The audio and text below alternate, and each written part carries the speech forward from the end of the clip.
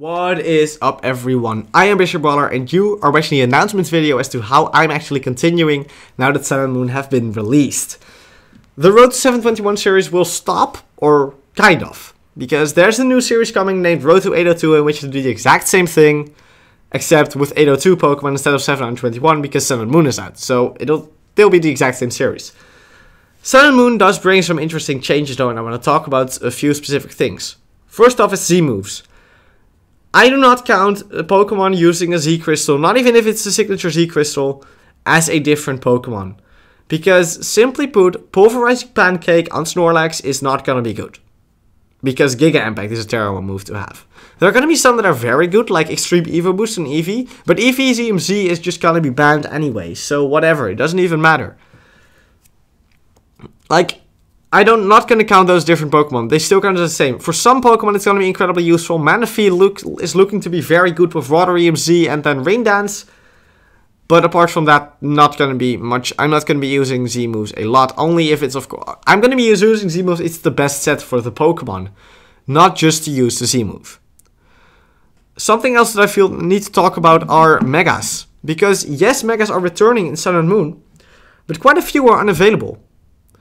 The list of available megas I, I have right here, and I'm gonna be reading them now. If you don't want to hear these spoilers, then skip ahead a little bit. The list is uh, Gengar, Scizor, Pinsir, Aerodactyl, Lucario, Kangaskhan, Gyarados, Absol, Alakazam, Garchomp, Sableye, Metagross, Sharpedo, Slowbro, Glalie, and Salamence. Those are the only available megas.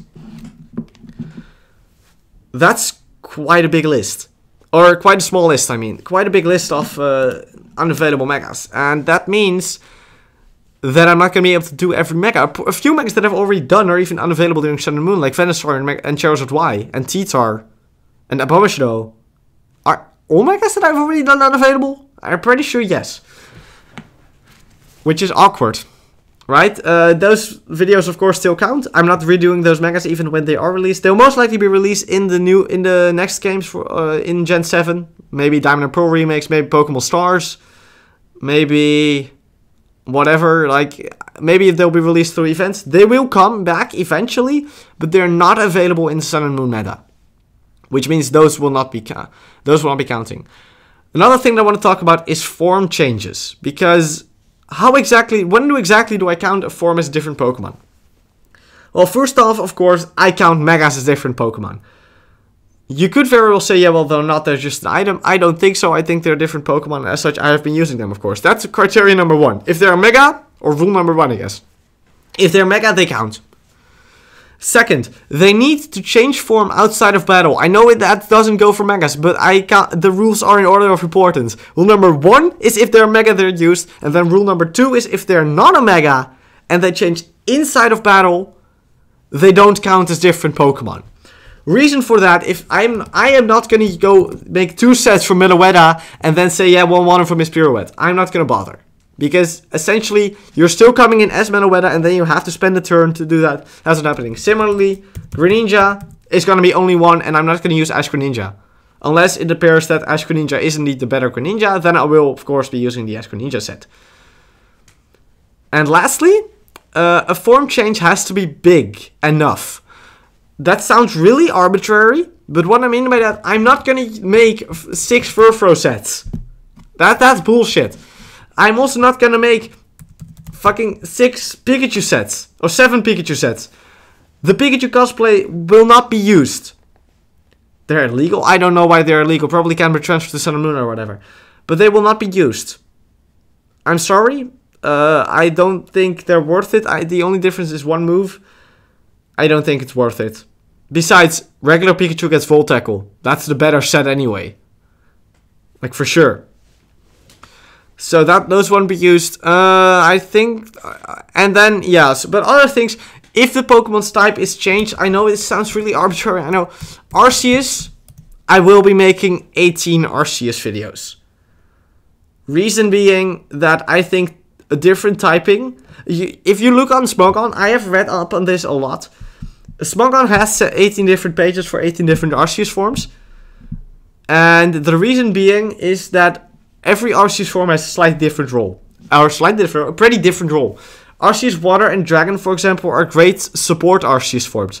Arceus Normal and Ghost, however, are very offensive. That ty- that one minor typing change, or seemingly minor typing change, is huge for what the Arceus form actually does. So for that reason, I will be using them. Similarly, I will most likely also be going with all Silvally forms. So yeah, there are, will also be 18 Silvally videos. But when is this all happening? Because I've said before that I'm taking a little bit of a break. I am. I want to. First off, I want to be able to finish Sun and Moon for myself. Sun and Moon is not out here yet.